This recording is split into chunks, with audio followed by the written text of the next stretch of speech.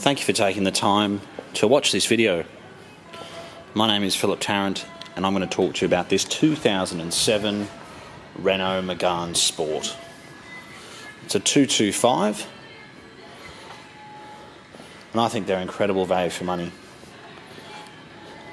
They even come with Brembo brakes. It's got a nice set of Pirelli tyres. Pirelli tyres on the front. It does have some Bridgestone Turanzas on the back, which surprisingly are sometimes more expensive than your uh, Pirelli or Michelin tyres. It's a manual. The car's in particularly good condition. It's been optioned with leather, which is great. So I find the fabric um, seems to wear out pretty quickly. It's a very good colour combination.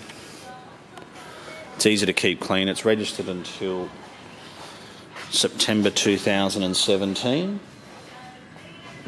and it's done 120,000 kilometres. It's got a great service history to it. It's been garaged. Um, you can see the headlights are in really good condition. You'll find most of the other cars, if you're looking at other Meganes, they tend to oxidise. They go a bit, a bit yellow along the top here, but these are very good. Had a few, you know, minor little parking dents and things in it, which we had taken out. But they sound fantastic. They really are a little pocket rocket. And this one was such a good history.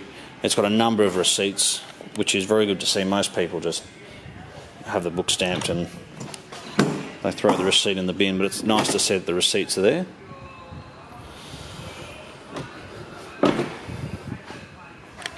We've also got a lot of utility, being a hatch, back seats fold down, the air conditioning's ice cold.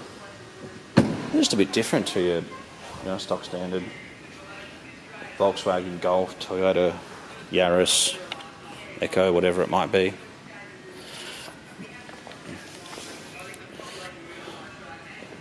And you know, it's pretty rare to find a a factory vehicle with Brembo brakes unless you buy a Subaru STI or similar.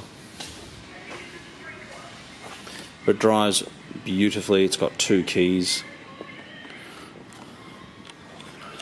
And it's been looked after. It's traded in on a Golf actually.